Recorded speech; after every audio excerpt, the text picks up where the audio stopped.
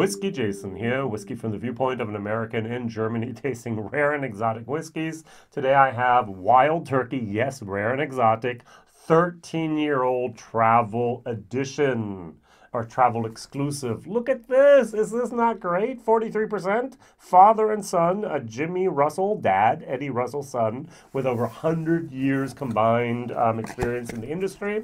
And it's a one liter bottle here. Look at this puppy. Now this is this bottle must have a story to tell because it ended up in an online shop over here in Germany called whisky.de. Maybe you remember Horst, the guy who swished his whiskey around a lot in his mouth.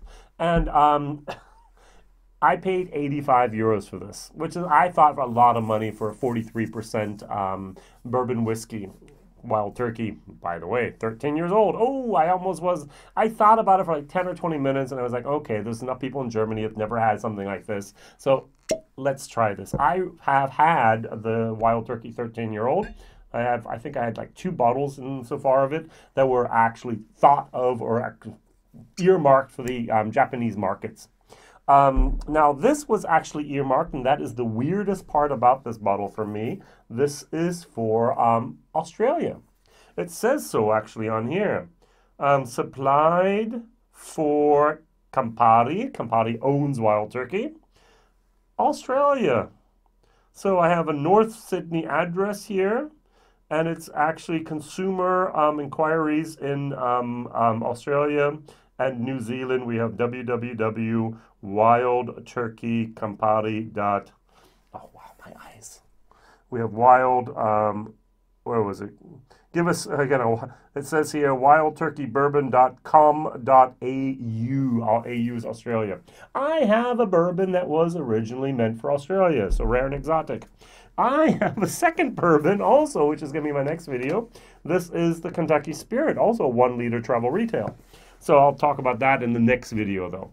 All right, so um, this is one of the advantages of COVID at the moment is we didn't have much travel exclusives.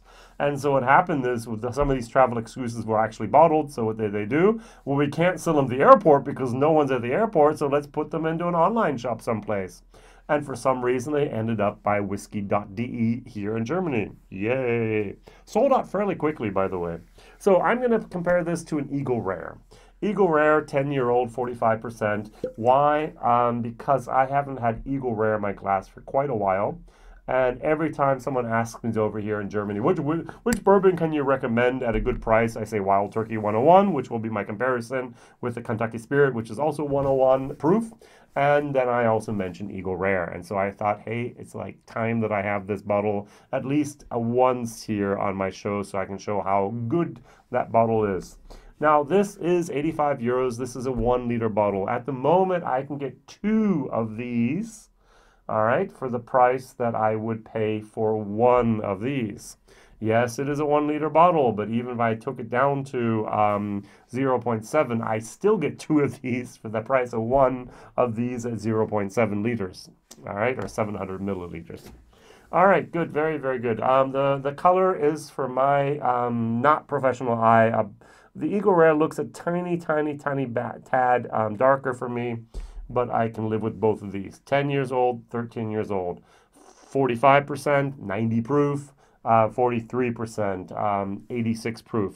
What in all the world were they thinking about sending out a 13 year old 86 proof, 43% whiskey over to Australia? Why isn't it at least 101 proof like uh, Wild Turkey always likes to have it? Mm, I'll give you an answer in a second. So it says here, located deep in Kentucky, the Wild Turkey Distillery distillery is, lo- is situated along the Kentucky River. Come on, I've been there, but it's really great. It's a gro- wonderful, wonderful place. You have this nice little valley there. There's a bridge that goes over there. You go down past the distillery. You can actually watch people. When I was there, they were bungee jumping a few years ago, but that's okay. And it says here the Kentucky River providing the distillery with limestone filtered water that is vital to making such a high quality bourbon. Compared to most bourbon, Wild Turkey um, is put into new oak barrels Every bourbon is put into new charred oak barrels. All right, so um, with the deepest char available. Yes, they use the alligator char, char number five. I'm sorry, number four. Many use three or two. That's the main difference by Wild Turkey. Second difference I'll talk about in a second. So this imparts a spicy flavor and deep amber covered color to the whiskey, um, making our liquid distinctively bold. Yeah. So this limited edition rare 13-year-old bourbon has been born from a unique collaboration of father and son master distillers, Jimmy and Eddie Russell. Together, these two have over 100 years of combined experience making high-quality bourbon, a true dedication to this artisanal craft.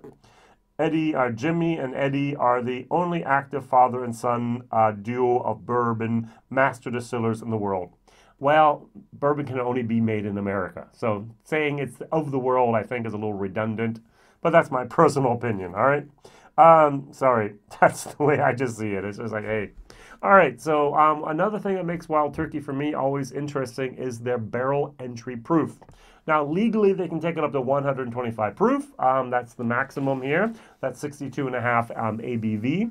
And what Wild Turkey used to do was 107 proof. So it's um, that would actually be 53.5 um, percent. And then they moved up to 110 proof. Um, that was 55 ABV.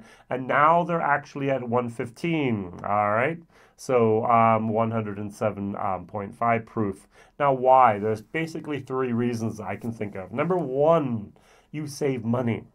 Uh, 4 percentage proof, um, 4% means if you fill up 100 barrels, you have to fill up 104 barrels if you have a lower entry proof.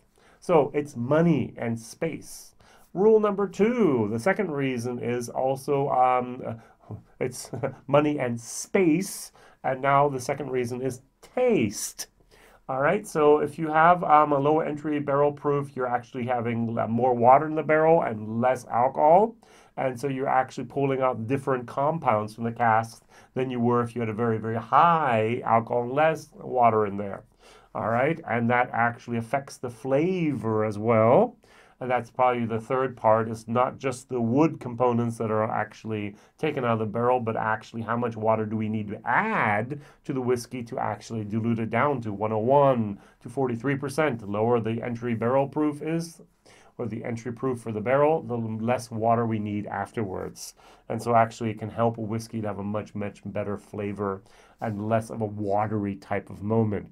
So we have the price and the, the, the, money and the storage capacity. We have the different products that are taken out of the wood of the barrel. And third, we have less water added later on to pull it down to our barrel or our bottle, um, bottle strength. All right, very, very good. So let's try this. I get some nice, it's a little bit, it doesn't pop as I was expecting it to, to be honest. So coat the glass here and see what happens. Okay, a little bit more of the alcohol comes through. Um, I get some brown sugar. I get some dark um, nougat, nougat, nougat, nougat. Um, very, very soft white, uh, soft um, milk chocolate moment. And I get some dark plum with a little bit of brown sugar on top of this. This is actually very interesting and nice. So I have not read the tasting notes yet. I'm going to do that. I forgot to do it actually in my video beforehand in German. Oh, I like my Eagle Rare. Oh. This has a more intensive, more... it's more of a nutty moment that comes through here. There's more of a pecan moment. And it's actually a tiny, tiny little bit more of a woodiness in here than I actually got from the 13-year-old. Wow. So let's try it. What surprised me is what's going to happen next year. Sláinte. In German, that's what we say in Scotland. So I'm going to say cheers to your health.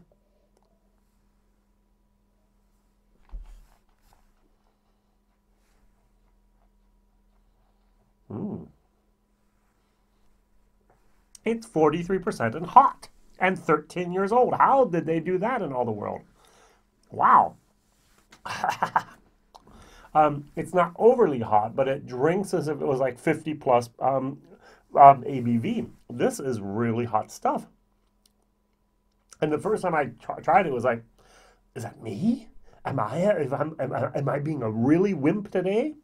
Um, uh, this was my, my control whiskey. I had this first. And I, mmm, yummy. And then I tried this. It was, wow, is that hot? And I tried this again. And I was like, mmm, yummy. Not me. This whiskey really has that peppery, spicy alcohol sharpness in there. And um, what also happens a little bit is it dies down fairly quickly. I've had bourbons that have a much, much longer finish than this actually has. So it says here um, notes of meadow oak, rich vanilla, hints of pear, and a long spice finish brilliantly reveals the bold and distinctive character of this aged wild turkey bourbon. Travel exclusive. Thank you, Jimmy. Thank you, Eddie. All right. So 13, of course, is a lucky number, especially in Asia. And um, yeah, that's the way things are. All right, would I buy this bottle again? No. Would I buy the other um, Wild Turkey 13 that I used to have? Yes. Am I, do I regret buying this bottle? Well, no, I get to share it with people, and sharing whiskey is half the fun. All right, um, but I would never pay 85 euros for something like this again. Now, I know the bourbon market is at the moment, the price is the 100 is the new 50, right? Um, and this is at 85 maybe for some of you going to 13 year old wild turkey i'd pay $85 any day of the week good good for you good for you and it's a one liter bottle on top of that 1000 milliliters. Go for it. But to be honest i could get two of the eagle rare for that same price or even i think i get almost four three and a half at least of the wild turkey. Um, i think this is actually a liter bottle isn't it? Yeah, this is a one liter bottle. I can get uh, more than three of these for this, um, and I would any day of the week. This is this is one of the go to things that you can just drink and share with buddies and just have a good old time, um, and not thinking about oh no, am I drinking hundred dollar whiskey or not? All right. Um, very briefly, my Eagle Rare in comparison. Hmm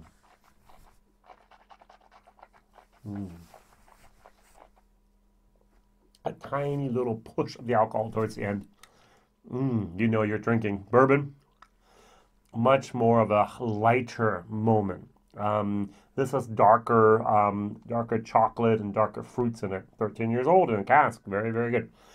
Um, this is a little bit lighter, a little bit um, more nuttiness in here. Very, very nice. Now, if I were to choose the two of these blind, I think I would definitely go for the Eagle Rare because that heat just turns me off.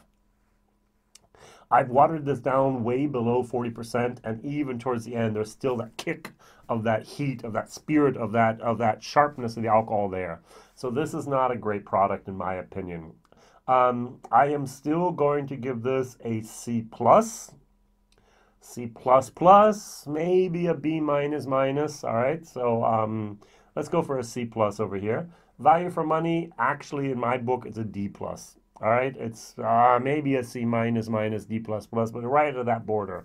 It's like this is not something you need to buy.